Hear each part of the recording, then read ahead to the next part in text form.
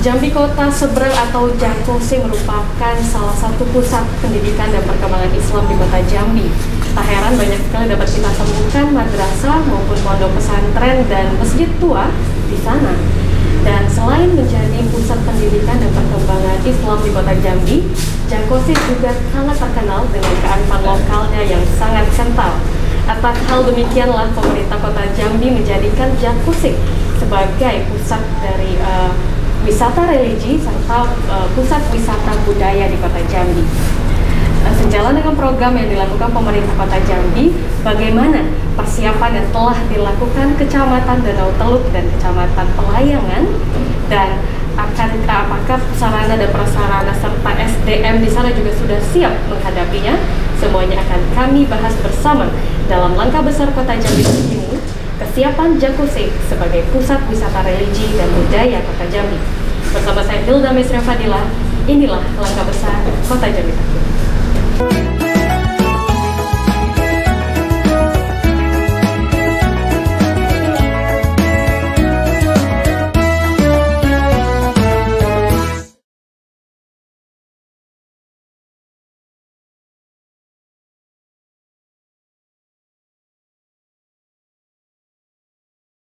Assalamualaikum warahmatullahi wabarakatuh Selamat datang pemirsa setia Jack TV Senang sekali kami kembali menemani Anda dalam langkah besar kota Jambi terkini Dan pada hari ini kami mengangkat tema yang sangat menarik Yakni mengenai uh, dijadikannya Josoke uh, Jakose sebagai salah satu pusat wisata religi dan pusat wisata budaya kota Jambi dan kita akan membahas bagaimana persiapan dari Kecamatan Danau Teluk serta Kecamatan Pelayangan menghadapi program dari pemerintah Kota Jambi tersebut. Dan tidak lupa kami sampaikan bahwa dialog ini merupakan kerjasama Jack TV dengan pemerintah Kota Jambi dalam rangka HUT Kota Jambi ke-76 dan peringatan Hari Jadi Tanah Pilih Pusako Betuah. Dan pada hari ini saya tidak sendirian, telah bergabung bersama saya e, dua narasumber yang sangat luar biasa yang pertama di sebelah kiri saya sudah ada Pak Fengki Ananda SSTPME selaku Camat Danau Teluk. Assalamualaikum Bapak. Waalaikumsalam. Terima kasih Bapak sudah bergabung bersama kami Pak. Ya. Dan selanjutnya ada Pak Sofian. Pak Sofian Pak ya. Sofian SE selaku Camat Pelayangan. Assalamualaikum Bapak. Waalaikumsalam. Terima kasih juga Bapak telah bergabung bersama kami Pak. Topik kita pada hari ini sangat menarik sekali yakni mengenai uh, salah satu program pemerintah Kota Jambi yakni dijadikannya Jakose atau Jambi Kota Seberang sebagai pusat wisata religi dan uh, pusat wisata budaya Kota Jambi. Mungkin saya mau ke Pak Fengki terlebih dahulu Pak. Menanggapi uh, program dari Pemkot tersebut bagaimana Pak? Menurut Bapak atas program itu Pak? Nah, baik, terima kasih atas kesempatannya. Uh, terkait program tersebut, uh, itu sangat baik karena memang uh, selama ini untuk wilayah seberang Jakose itu belum tereksplor diekspor secara maksimal uh-huh. ya baik itu terkait religi, religinya maupun wisatanya jadi mulai tahun kemarin Bapak Wali Kota itu Bapak Oscar Hadi Saripasya uh, mengembangkan uh, seberang ini sebagai Eh, kampung wisata. Dan itu sudah dimulai di Kecamatan Danau Teluk, khususnya Kelurahan Uluridong, itu peningkatan sarana dan prasarana. Salah satunya peningkatan sarana prasarana jalan. Ya, jalan. Jadi jalan itu kemarin ada sekitar uh, 300 atau 400 meter yang sudah ditingkatkan kualitasnya dan dilebarkan. Nah, yang nantinya nanti tahun ini mungkin akan dilanjutkan lagi peningkatan sarana prasarana sehingga nanti di sana diharapkan uh, masyarakat bisa berkunjung ke seberang itu baik itu jalan kaki maupun nanti bersepeda melihat uh, wisata yang ada di sana melihat eh, rumah-rumah uh, tua yang ada di sana karena di seberang ini kan untuk rumah-rumah tuanya masih sangat identik ya jadi masih sangat banyak dan juga kehidupan masyarakatnya di sana bagaimana jadi sehingga uh, di satu sisi nanti juga bisa meningkatkan uh, pendapatan masyarakat sendiri karena nggak mungkin uh, masyarakat itu berkunjung tanpa menyicipi masakan khas di sana ataupun membeli oleh-oleh. Nah, tentunya juga nanti ada juga pengembangan UMKM masyarakat seberang itu sendiri. Baik, jadi program ini sangat baik sekali ya Pak ya. Kayak kan menopang atau mendongkrak pertumbuhan ekonomi di uh, seberang sendiri ya, Ya, Pak ya. ya. Tentunya masyarakat pun antusias. Iya. Kalau dari Pak Sopeng sendiri Pak, bagaimana menanggapi program pemerintah Kota Jambi yang akan menjadikan kota seberang sebagai pusat religi dan wisata budaya Pak? Terima kasih eh, Nanda Wida. Eh, selamat sore pemirsa di rumah. Eh, kita khususnya masyarakat di dua kecamatan tadi sudah disampaikan oleh Pak Camat Don Tulu. Di sini saya cuma menambahkan yang jelas kami dua kecamatan menyambut baik program yang di yang di eh, pemerintah kota dan juga Pak Wali kan sesuai juga dengan RPW-nya dan ini RPJM-nya Pak Wali menetapkan eh, kawasan ini eh, cagar budaya eh, wisata Jambi Kota Seberang dan Hmm. ini eh, satu-satunya yang ada di Indonesia. Ya. Nah, juga program eh, dari Dinas Pariwisata itu akan menjadikan eh, satu kawasan kelurahan yang ada di Teguhur menjadi eh, kawasan eh, wisata. Nah ini masyarakat sangat menyambut sekali. Gitu. Oke Pak, Eh, untuk masyarakat kan antusias nih Pak. Untuk kesiapan SDM sendiri, bagaimana untuk di kecamatan eh, Pelayangan Pak? Ya, kalau untuk SDM mungkin di seberang itu tidak bedanya di seberang sini. Oh, sudah luar biasa sekali. Maka saya, saya bilang di seberang itu kami sudah terbuka. Ya silakan. Salah satu contoh eh, SDM yang ada kita ambil dari ini eh, budaya ya. Eh, seperti pagi ada yang jalan santai itu anak-anak kita SDM sudah tinggi mereka cuman menegur sapa memberikan contoh kepada warga keturunan kita agar tidak memakai pakai minim dengan eh, sopan santun. Ini kan untuk SDM pasti mereka sudah siap untuk menyambut kota eh, Jambi kota seberang eh, cagar budaya wisata. Baik, salah satu persiapannya adalah tetap menjaga kearifan lokal seperti iya itu mungkin betul Pak ya. Oke, baik. Kalau dari kecamatan Danau Teluk sendiri Pak, bagaimana masyarakat eh, di sana sudah siapkah atau seperti apa Pak? Eh, kalau untuk masyarakat khususnya di Danau Teluk sudah sangat siap. Malah memang eh, untuk masyarakat Danau Teluk sendiri memang ber- ber- diharapkan berharap eh, banyak lagi nanti spot-spot wisata yang bisa dikembangkan di Danau Teluk. Karena memang untuk sampai sejauh ini eh, untuk di Danau Teluk eh, masih sangat sedikit pengembangan dari spot-spot wisatanya. Nah, terutama kan kita di di Kecamatan Danau Teluk itu punya Danau Teluk ya.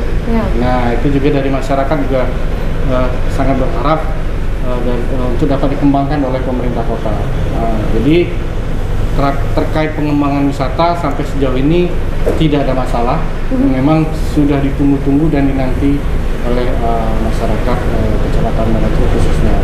Nah, menyambung yang tadi terkait dengan kampung wisata tadi, mungkin nanti itu akan menyambung eh, rute jalurnya nanti nyambung ke pelayangan. Itu nanti mungkin ring roadnya lebih kurang sekitar 3 km itu yang, eh, lokasinya di dua kecamatan. Eh, nyambung dari seperti yang saya sampaikan tadi dari Gedong itu nanti melintas juga di eh, kecamatan pelayangan. Baik. Baik Pak, untuk pembinaan sendiri, baik di eh, Kecamatan Danau Teluk maupun Pelayangan dilakukan pembinaan tidak kepada masyarakat setempat. Bagaimana nih Pak? Mungkin boleh dari Pak Oh, dulu.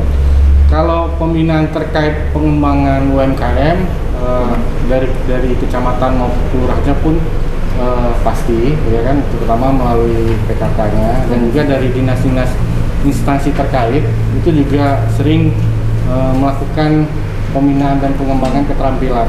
Ya baik eh, terutama terhadap UMKM ya.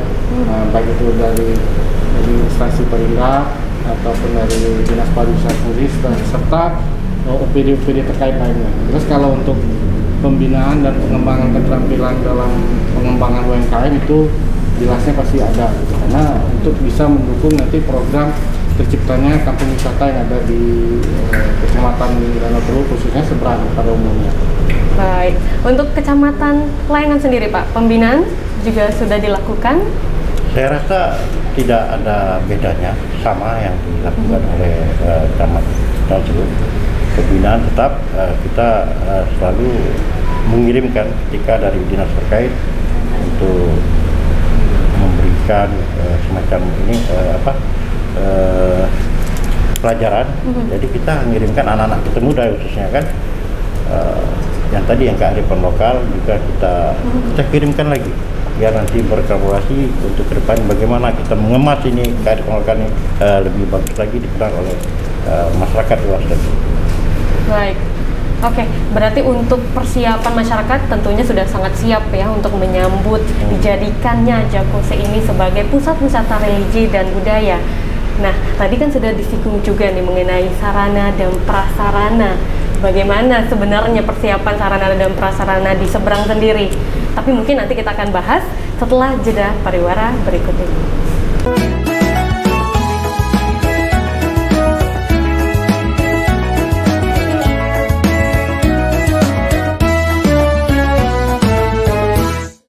Dari Rumah Tempayan kami kembali menyapa pemirsa setia Jack TV dan sebelumnya kita sudah membahas beberapa uh, terkait persiapan masyarakat Jakose menyambut dijadikannya Jakose sebagai tempat wisata religi dan budaya.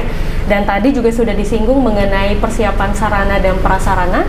Mungkin akan saya tanyakan uh, untuk sarana dan prasarana. Mungkin ke Pak Fengki terlebih dahulu Pak. Bagaimana ini persiapan di Danau Teluk sendiri untuk sarana dan prasarananya Pak selain jalan?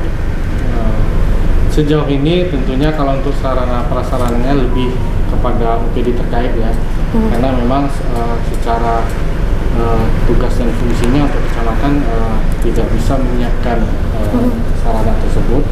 Uh, tapi kami dari kecamatan maupun kelurahan siap mendukung dan mensupport serta mengawasi dan memberi masukan hmm. pada UPD-UPD terkait apa-apa uh, saja sarana prasarana yang memang dibutuhkan dan untuk pengawasannya pun kami sudah siap terutama dalam memberi uh, masukan dan arahan kepada masyarakat. Apabila nanti sarana prasarana tersebut sudah disiapkan tolong dijaga uh, tolong diawasi jangan dirusak.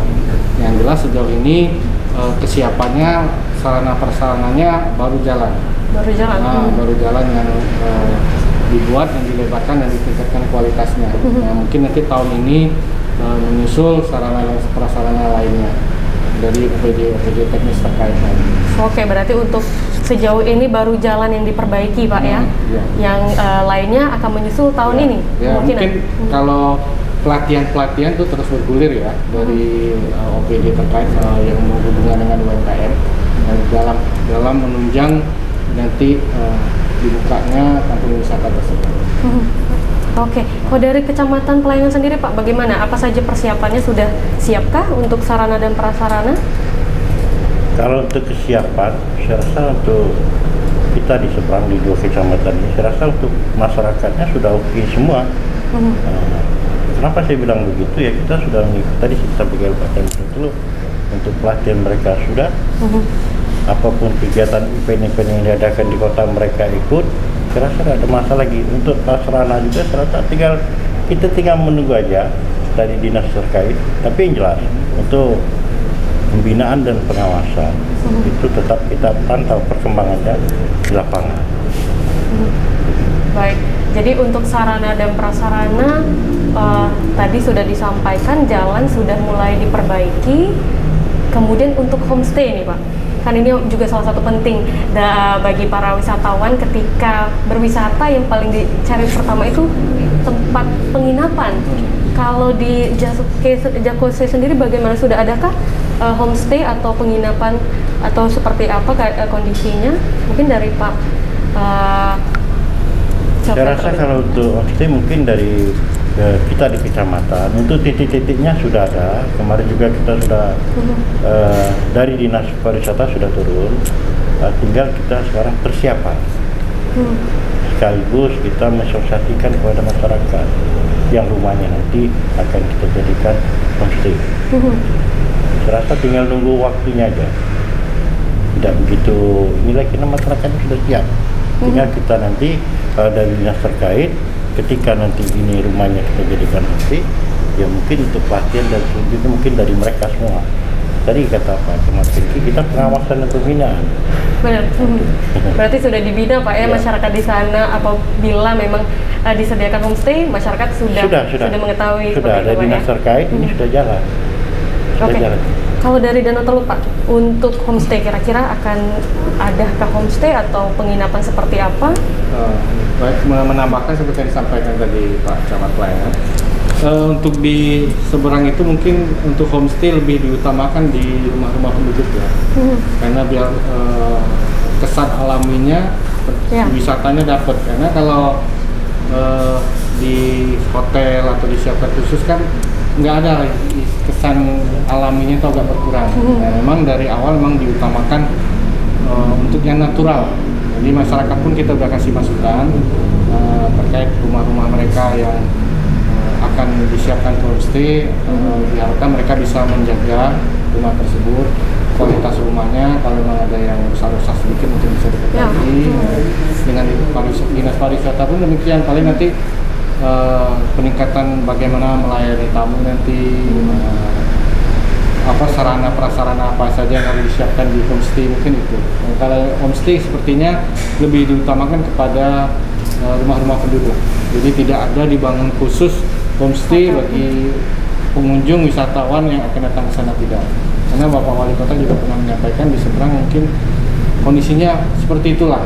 Jadi untuk mall atau apa tuh tidak boleh dibangun di sana karena kalau sudah membangun mall itu nanti eh, berdampak ke yang lain kesan natural di seberang itu Hilang. berkurang Hmm. hilang jadi untuk menciptakan kampung wisata juga agak sulit gitu jadi eh, untuk homestay lebih diutamakan eh, rumah-rumah penduduk rumah-rumah tua yang ada di sana Untuk menjaga kearifan lokalnya Pak ya. yang menjalankan utamakan Baik, terkait kearifan lokal nih Pak, mungkin juga eh, salah satu hal yang perlu diantisipasi, seberang ini kan paling terkenal di kota Jambi itu kearifan lokalnya masih sangat kental. Lalu dengan dijadikannya pusat wisata ini, eh, apa kira-kira antisipasi yang akan dilakukan untuk tetap menjaga kearifan lokal itu agar jangan sampai nih setelah menjadi tempat wisata malah kearifan lokalnya hilang seperti itu Pak. Bagaimana kira-kira Pak? Apa saja antisipasinya dari Pak Menkyu terlebih dahulu? Ah, baik.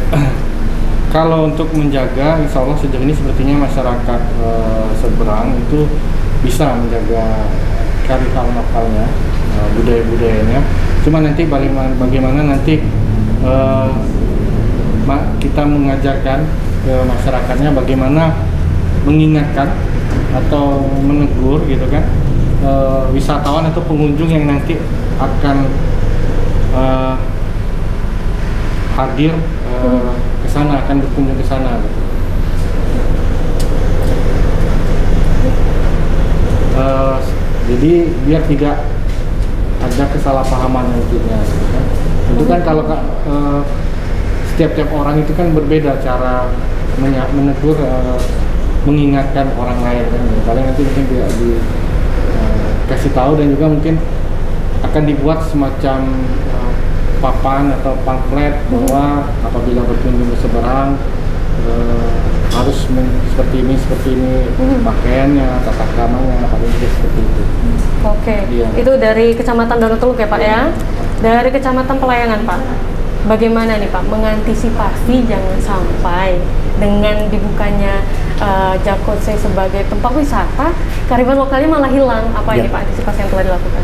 Saya rasa untuk kesiapan tadi sudah saya bilang untuk masyarakat seberang eh, kota kota ya Jambi kota seberang itu sendiri Mhm. ya kita sudah khusus anak muda ya. Eh, itu sudah maju sekali. Jadi untuk mengantisipasi misalnya ini ya mereka biasa memberi contoh. Jadi kata ke camat nanti kalau benar-benar ini terjadi. Ya kita harus lebih banyak mensosialisasikan. Kita menyampaikan ke media begini kalau berkunjung ke seberang itu begini. Ya saya rasa untuk sekarang ini itu sudah berjalan. Sudah berjalan nanti bolehlah anda main ke seberang Oh iya, boleh Pak. sudah luar biasa kalau mau tes boleh Oh, pakai gitu. yang minim-minim itu mereka bilang paling ibu-ibunya sopan dek kalau ke sini kayaknya begini nah, gitu. tapi biasa dari media kita sudah pakai media semua Mhm. itu anak-anak muda kan kita ada juga forum komunikasi eh, mahasiswa eh, seberang itu mereka juga menyampaikan Baik, mungkin menjaga kearifan lokal sebenarnya masyarakat sendiri sudah menjaga itu ya Pak ya. Betul. Jadi uh, permasalahan itu jangan dikhawatirkan mungkin ya. Oke, baik terkait wisata religi dan budaya. Untuk di masing-masing kecamatan sendiri apa saja sebenarnya wisata religi maupun wisata budaya dan mungkin dari Pak Sofian terlebih dahulu Pak apa saja yang ada di kecamatan uh, Pelayangan Pak? Kalau pelayangan itu ya kami ini kalau kedua kecamatan ini ada beda. Ibaratnya tuh kalau di Belas Mangka itu belah dua sama.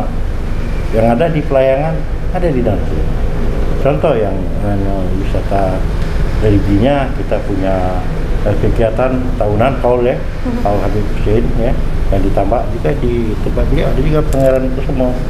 Nah untuk budayanya oh, banyak sekali di seberang itu. Mhm. Pernah diadakan juga oleh pemerintah Kota Jambi itu eh, kenduri budaya ya. Hmm. Tapi yang jelas eh, khususnya masyarakat dua kecamatan ya kami juga sudah siap sekali untuk menyambut eh, Jokowi. Oke, kalau dari pelay- eh, Danau tuh Pak, wisata religi dan kebudayaannya mungkin sudah disampaikan juga hampir sama ya Pak ya. lebih kurang sama. Yang jelas kalau di sana itu kan ada tadi disampaikan ada makam Pangeran Sumo. Mhm. Di situ juga ada di Oh. kecamatan Danau Tulu itu ada masjid yang besar itu kan masjid Islamiyah yang di Kelurahan Olah Kemang. Terus juga kalau pesantren situ ada juga yang tua, ada eh, pesantren Nurul Iman sama eh, Pondok Asar. Nah, itu kan bisa untuk dijadikan wisata religi karena memang secara struktur bangunan kedua terutama Nurul Iman itu masih model bangunan lama Masih asli. jadi kan bisa juga untuk eh, wisata religi Oke, Pak, wisata religi dan budaya di Indonesia kan sudah banyak Pak ya. Terus apa sih sebenarnya yang membuat kota seberang ini otentik eh, yang mem- berbeda lah gitu dengan kota-kota yang lain? Tapi jangan dijawab dulu Pak, kita akan jawab setelah jeda pariwara berikut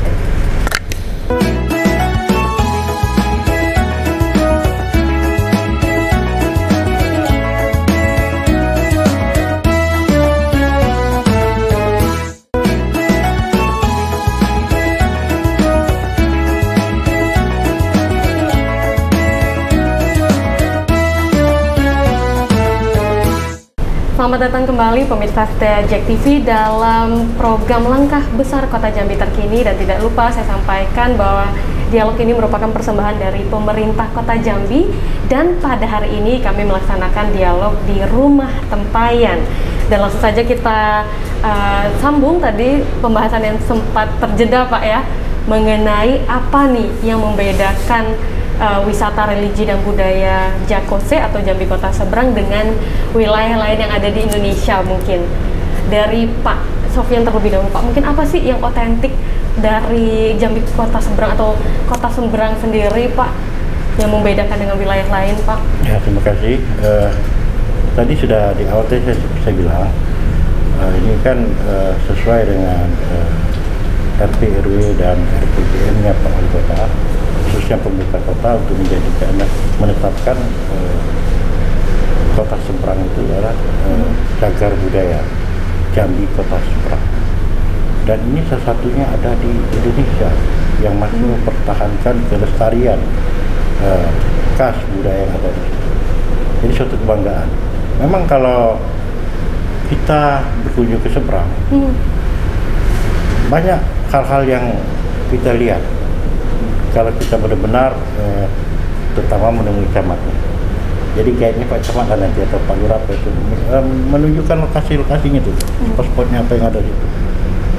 Yang tadi saya bilang kita ada itu ciri khas dari lokalnya itu untuk UMKM-nya itu eh, TPK, kemudian eh, kue suping tanah, kalau batiknya saya rasa sudah menjamur ya Pak Camat ya. Banyak hal lain yang tidak dimiliki oleh yang daerah lain. Makanya eh, pemerintah Kota Jambi khususnya Bapak Wali Kota dan Wakil ini sangat bersemangat Pak. Sungguh-sungguh bersemangat nih untuk menjadikan kawasan ini untuk cagar budaya. Jadi kami khususnya Taman Payangan warga itu berterima kasih sekali. Luar biasa kemajuan yang eh, dibangun oleh pemerintah Kota Jambi. Baik.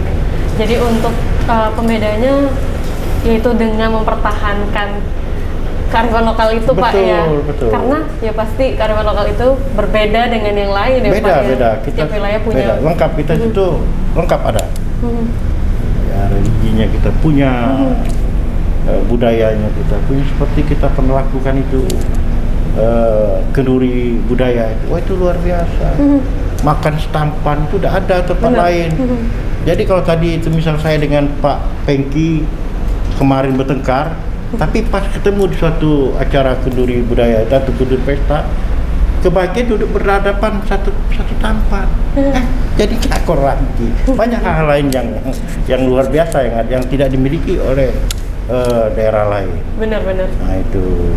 Dan itu masih dipertahankan ah, masyarakat. saya sendiri bangga selaku Heeh. warga masyarakat eh, seberang Oke, luar biasa sekali. Mungkin Pak Fengki, Pak. Eh, tadi kan selain kearifan lokal Pak, apa nih yang dimiliki eh, seberang yang menjadi pembeda lah Pak atas wilayah lain selain tadi sudah disampaikan oleh Pak Sofian, apa sih kira-kira yang membedakan eh, wilayah seberang dengan wilayah-wilayah lainnya? Ya, eh, secara ininya sebenarnya sih banyak sih yang Mhm. beda yang menjadi ciri khas di seberang itu. Apalagi selain eh, dari eh, wilayahnya masih natural, terus dari sisi bangunannya juga banyak yang masih mempertahankan bangunan-bangunan lama. Mhm. Nah, tadi juga di, sudah disinggung oleh Pak Camat Pelayanan terkait makan dan masakannya ada juga yang yang beda nih gitu. Salah satunya kayak masakan tempe. Mhm, Nah, itu kan hanya kita temui kalau ada acara di seberang gitu. acara resepsi ataupun acara sejenisnya dan memang tidak dijual di rumah-rumah makan. Mhm. Nah, ya, boleh kita lihat di seberang sini nggak ada. Jadi kalau memang ke- kalau saya dulu sebelum saya di dinas ke- di seberang itu kalau ada undangan ke seberang itu memang saya usahakan datang karena pasti ada masakan itu gitu. Karena jar- jarang ditemui di tempat-tempat lain. Dan itu hanya ada eh, di seberang. Nah, jadi itu salah satu contohnya. Belum lagi eh, makan makanan kecilnya ya setiap pagi itu banyak dijual di seberang sana. Dan itu salah satu eh, yang menjadi ciri khas di seberang sana. Makanya eh, pemerintah kota Pak Wali Kota itu pengen mempertahankan eh, wilayah seberang itu. Nah, selain mempertahankan juga diangkat karena ada potensi di situ. Salah satunya apa ya? Bisa meningkatkan eh, pendapatan masyarakatnya. Ya kan kalau kita kembangkan eh, bisa dikunjungi oleh masyarakat luar, mereka masyarakat luar pun bisa belanja di situ, sehingga kan juga bisa meningkatkan eh, pendapatan masyarakat sini. Oke, untuk strategi sendiri Pak yang telah dipersiapkan dari uh, masing-masing kecamatan apa nih strategi yang telah dipersiapkan agar uh, Jakosi ini wisatanya tidak terkenal secara regional saja, uh, secara di provinsi Jambi saja, tetapi juga dikenal di Indonesia kalau berbicara wisata religi atau budaya tahunya itu dari seberang gitu yang langsung muncul di pikiran uh, wisatawan. Apa nih strategi yang telah dipersiapkan? Eh, kalau kami sendiri dari kecamatan setiap eh, ada event-event itu selalu kita share di medsos karena kan kita tidak bisa pungkiri eh, zaman sekarang ini eranya medsos. Jadi setiap ada kegiatan kita share di medsos bisa di- biar bisa dilihat oleh masyarakat luar dan juga kepada eh, pengrajin-pengrajin UMKM juga selalu kami kasih masukan gitu kan? Nah, kalau bisa dibuatkan eh, medsosnya Mhm, bisa di medsosnya jadi masyarakat luar pun juga bisa pesen nggak perlu jauh-jauh datang ke seberang. Kalau ada UMKM mereka yang suka mereka pesan. Dari itu juga melalui cekatannya juga mengingatkan gitu juga dalam pembinaan eh, pada pengrajin-pengrajin UMKM mungkin kalau dengan kondisi sekarang itu yang eh, kami lakukan. Branding di sosial media pak ya, Iya. kalau dari kecamatan paling mungkin bapak ingin menambahkan pak pak Sofian kalau bapak nambahkan eh, yang jelas salah satu kuncinya biar kita itu dikenal sampai keluar ya masyarakat harus ramah-tamah jadi ketika ada pengunjung nah kebetulan masyarakat di dua kecamatan ini belum ada orang yang nyasar wisata itu karena mereka selalu menegur. Nah ini adalah kelebihan uh, orang seberang. Jadi bapak pribadi ya. Kalau mendengar isu orang seberang itu arogan ini tidak setuju. Karena tidak ada orang yang nyasar situ. Karena mereka selalu santun. Bu mau ke mana Pak? Mau ke mana? Mereka langsung negur. Nah ini tidak ada dimiliki oleh daerah lain. Saya ke Jakarta aja susah. Mau bertanya bingung kalau situ tidak Pak mau ke mana? Pak kita berhenti sebentar itu. Minyaknya habis Pak ya. Oh, mereka siap. Kita beli minyak. Nah ini yang yang yang ini yang yang luar biasa dimiliki oleh masyarakat uh, kami di seberang ini tidak ada dimiliki oleh masyarakat lain jadi kuncinya itu ramah ramahnya itu itu harus dipertahankan Pak ya. Oh, itu yang buat terkenal seberang itu. Iya. Maka TP-nya itu sampai ke luar negeri. Baik, jadi dua hal penting tadi telah disampaikan uh, uh, bisa dikatakan sebagai strategi lah Mm-mm. uh, untuk membranding kota seberang. Yang pertama tentunya dari segi budayanya Betul. tadi harus dipertahankan, kemudian branding di sosial medianya Pak ya yang perlu dikerahkan lagi. Oke. Terkait strategi tentunya sudah banyak dilakukan. Kita akan bicara mengenai kendala-kendala yang eh, dilalui selama proses dijadikannya Jakose ini sebagai pusat wisata religi dan budaya. Apa saja Pak kira-kira kendala yang dirasakan dan bagaimana pemerintah Kota Jambi mendorong untuk eh, mengatasi kendala-kendala tersebut? Mungkin dari Pak Sofian? Saya rasa untuk kendala di lapangan, ya mungkin sampai saat ini, saya rasa kendala tidak ada. Tinggal ya kita ini kan perpanjangan tangan dari eh, pemerintah kota. Benar. Tinggal kita mensukseskan, kita menjual program, program pemerintah kota. Oh nanti ini akan dibuat eh, jalur wisata sepeda. Kita siap kita ngasih sambutan di khususnya di eh, masjid, kemudian kita duduk di apa namanya di warung-warung kopi dengan tuh tenganai. Oh pemerintah kota nanti akan buat begini.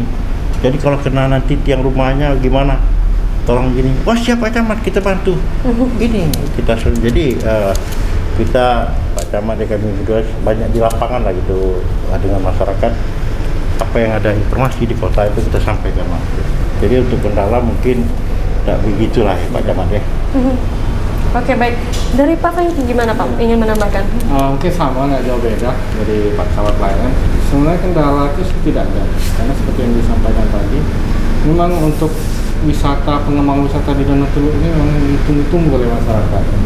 Ya mungkin eh, ya bisa dibilang nggak kendala sih, ketidaksabaran masyarakat saja, ya kan dalam mengembangkan suatu wilayah apalagi seperti kampung wisata ini kan semuanya perlu proses.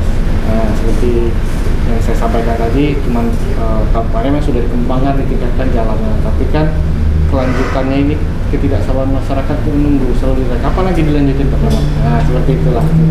Yang untuk melanjutkannya kan semuanya ada proses. Ya kan dari pemerintah kan ada tahapan-tahapan. Mungkin itu saja mereka yang, yang mungkin tidak sabar menunggu. Tapi intinya mereka sih senang gitu. Ada pengembangan eh, wilayah di kecamatan Danau Teluk di Seberang dalam hal pengembangan wisata. Karena memang itu sangat ditunggu dan dinanti mungkin itu saja. Tidak ada kendala yang berarti sih kalau saya. Baik, jadi belum ada, jangan sampai ada ya. Iya. kendala yang begitu besar belum ada Pak ya sejauh ini. Dan kita harapkan memang berjalan dengan lancar sampai sudah disahkan ya. Udah disahkan nggak sih Pak kira-kira? Atau masih dalam proses? Eh, kalau peresmian launchingnya belum, Mhm. karena ini kan masih proses eh, peningkatan dan melengkapi sarana prasarana. Tapi Mhm. secara ininya sudah Sudah jalan. sudah jalan. Mhm. Tapi kalau Mhm. launchingnya kan belum karena banyak sarana prasarana yang belum selesai. Mhm. Tapi tahapan-tahapannya udah udah berjalan. Diperkirakan kapan ini Pak akan disahkannya Jakose sebagai wisata religi dan budaya? Mudah-mudahan secepatnya ya. Secepatnya Pak ya. Iya, secepatnya. Kita harap Iya. bersama tentunya secepatnya Jakose sebagai wisata religi dan budaya Kota Jambi. Dan pemirsa kami masih akan kembali tapi setelah jeda pariwara berikut ini.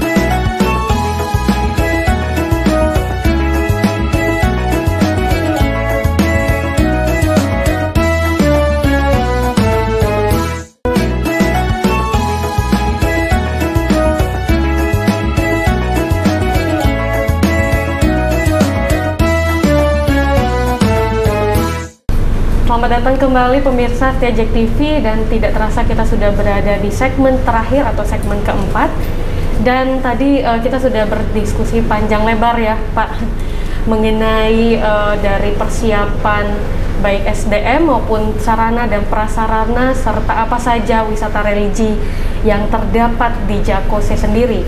Kemudian uh, mungkin ini juga hal yang cukup penting mengenai akses. Uh, bagaimana nih akses yang ada di sana, Pak?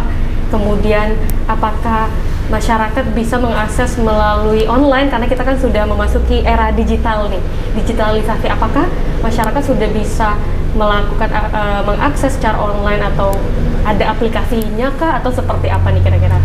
Mungkin boleh Pak Fengki?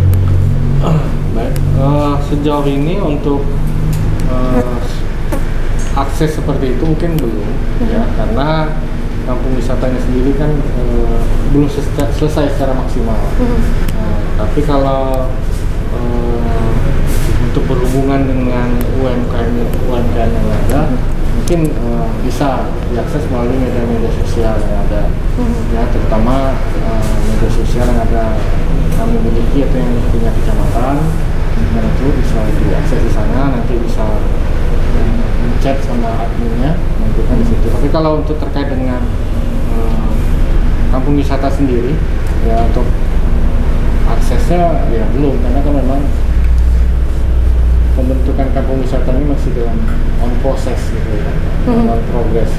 Mungkin itu yang dapat uh, kami sampaikan. Oke, okay, baik Pak Sofian mungkin ingin menambahkan Pak?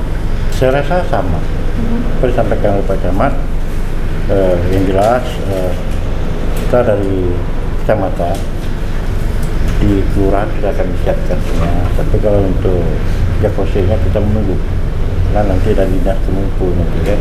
Hmm. Tapi untuk publikasi untuk Eh, kita menceritakan seberang itu bagaimana uh, kita juga punya admin di kecamatan apa yang disampaikan Pak Oke mungkin kalau untuk akses cara aplikasi itu dari pemerintah kota Jambi mungkin Pak ya sudah ya, menyediakan nah, mungkin uh-huh. ke dinas terkait seperti mungkin dinas pariwisata mungkin uh-huh. nah, uh-huh. kami kalau dari kami sendiri belum ada Oh begitu Karena ya memang ya? kampung wisatanya kan belum selesai secara maksimal ya. Yeah. Mungkin setelah 100% akan ada Pak ya. Yeah. Diharapkan bisa jadi salah satu masukan mungkin. Yeah, Oke, okay, baik. Bapak karena kita sudah berada di segmen keempat yang merupakan juga segmen penutup, mungkin boleh disampaikan himbauan atau kesimpulan lah pada diskusi kita kali ini mungkin dari Pak Sofian terlebih dahulu Pak, boleh? Ya, terima kasih ya Kanada ya saya menghimbau khususnya untuk masyarakat ke Kecamatan Pelayangan terutama ayo kita sama-sama menjaga keamanan khususnya ketika ada pengunjung. Seperti sekarang ini kan lagi ramai-ramainya di Gentala. Hmm. itu semua wisata numpuk di situ. Ya kita harus sopan santun senyum berakhlak berbudaya itu ciri khas masyarakat kita seberang. Jadi yuk sama-sama kita menjaga kampung kita biar lebih terkenal uh-huh. sampai ke mancanegara. Terima kasih untuk pemirsa di rumah. Itu bisa saya sampaikan pada sore ini. Assalamualaikum warahmatullahi wabarakatuh. Oke, baik. Terima kasih Pak Sofian. Ya mungkin boleh dilanjutkan Pak Fengki.